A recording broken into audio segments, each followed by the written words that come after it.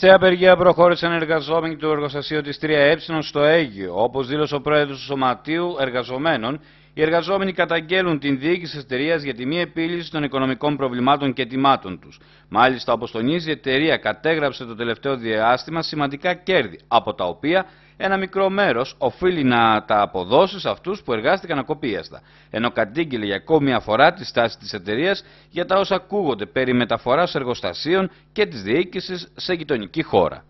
Μετά από εξοδότηση των γενικών συνελεύσεων των εργαζομένων και τις ομόφωνες αποφάσεις του ΔΣ των σωματείων, καταγγέλουμε την απαράδεκτη και απαξιωτική στάση τη εταιρείας για τη μη επίλυση των οικονομικών και θεσμικών μαθητημάτων του 2011.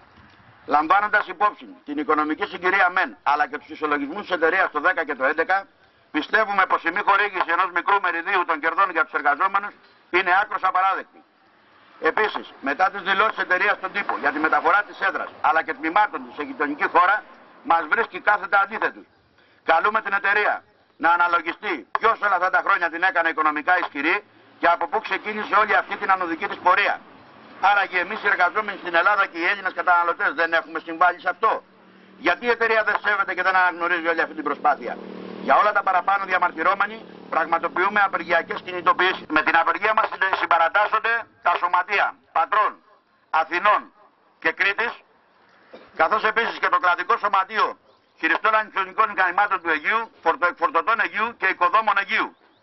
Καλούμε όλο τον Αιγιώτικο λαό να ξεσηκωθεί σε αυτά τα ανήλαια μέτρα που εξαγγέλουν οι κυβερνήσεις μας με στόχο και σκοπό να μας ισοπεδώσουν κυριολεκτικά. Αυτή η περιβόητη μισθή των 700 ευρώ πλέον αρχίζουν με νομοθεσία πλέον να είναι 500 ευρώ.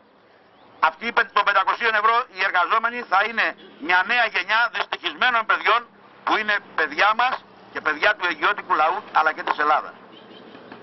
Η Πανελλήνια Ομοσπονδία Εργατοτεχνητών και Υπαλλήλων Γάλακτος και Τροφίμων Ποτών με εξοδοτεί ως γενικό της γραμματέα να απευθύνω την ανακοίνωση για την υπογραφή ικανοποιητικής συλλογικής σύμβασης που από το, 1900, ε, από το 2009 είναι χωρίς ανανέωση. Δεν έχουμε σύμβαση συνάδελφοι ούτε το 10 ούτε το 11. Αντιλαμβάνεστε πως εάν για την φετινή χρονιά δεν υπογραφεί συλλογική σύμβαση και αν προσβληθεί η σύμβαση του 9, όλες οι προηγούμενες κατακτήσεις μας βάσει της κείμενης νομοθεσίας είναι στον αέρα. Γι' αυτό βρισκόμαστε το 2011 και παρόλες τις προσπάθειές μας δεν έχει υπογραφεί ακόμα κλαδική συλλογική σύμβαση για το 10.